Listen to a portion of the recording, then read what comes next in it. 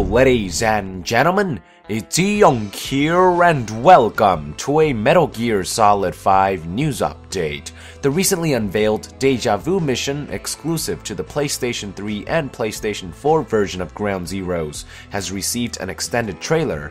Check it out.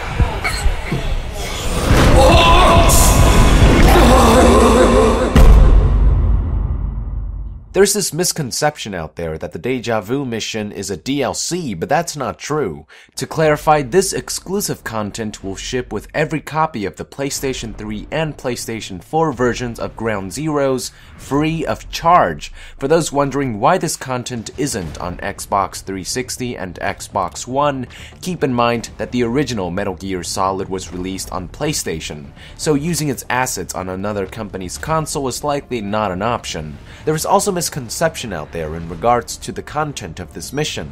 No, it's not just a high polygon, low resolution solid snake skin. It's actually its own mission featuring a Shadow Moses version of Camp Omega that should take players on a ride down Nostalgia Lane. We are shown nostalgic elements such as a flag with a Foxhound logo, Metal Gear Solid 1's Genome soldiers patrolling the area, a chopper resembling the Hind D that Liquid Snake took off with, familiar characters such as Psycho Mantis and Donald Anderson, along with this classic scene of 3D Snake discovering his first security camera. In fact, the exclusive mission revolves so much around nostalgia that one of its objectives involves recreating the strangely familiar scenes shown in the mystery photographs before heading for the goal. Looks pretty cool if you ask me. Anything with Psycho Mantis in it is bound to end up being epic. Now, I find it funny that of all villains to choose from, they decided to show us Psycho Mantis. In my previous video, I talked about how this exclusive content could be teasing at Solid Snake making some kind of cameo before the end of the Phantom Pain.